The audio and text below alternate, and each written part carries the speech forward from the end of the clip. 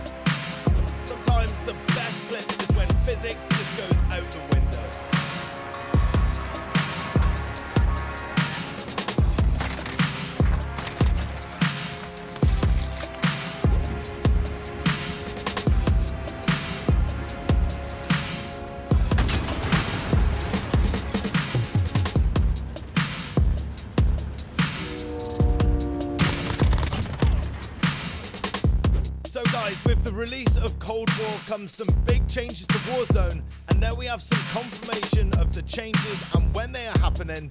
On the 13th of November, players can use their operators in Warzone that they unlock in Cold War. And on the 10th of December, the very start of Cold War Season 1, the weapons from Cold War will be added into Warzone, and you can use your Cold War loadouts as well as your Modern Warfare loadouts. Most perks are very similar to Modern Warfare, the biggest standout to the Call of Duty community is the Ninja perk.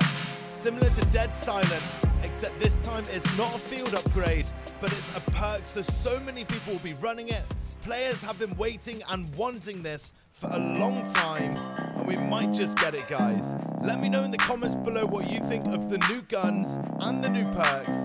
Now let's get back to the best viral plays.